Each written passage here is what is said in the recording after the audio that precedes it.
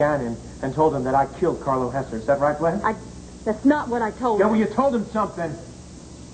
I told him about the passport. And I told him that you took Starr and how we found out. Now, if he thinks that you killed Carlo, I, I can't help it. Yeah. Right.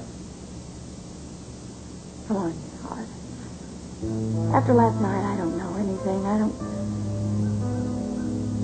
Seem like a total stranger to me, and I have no idea what you're capable of, and you scare me to death. I didn't kill Carlo Hesser. I swear. And I know that you don't think much of my word. But I'm not the monster you think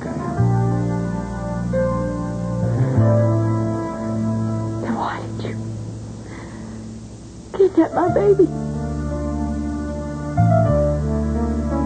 Why did you torture me like that?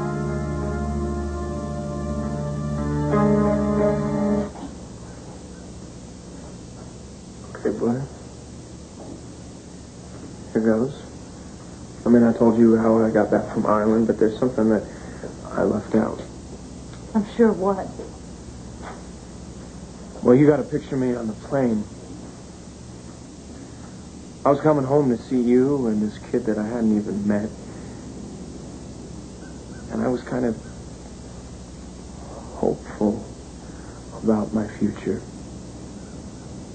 I mean, why not? I had cheated death. And I wanted to see you and just pick up where we left off. And so the plane lands and I get in the car. I'm in, I'm in our building and I'm in the elevator and I, my heart is pounding so loud I can't even hear myself think. Just wanted to surprise you.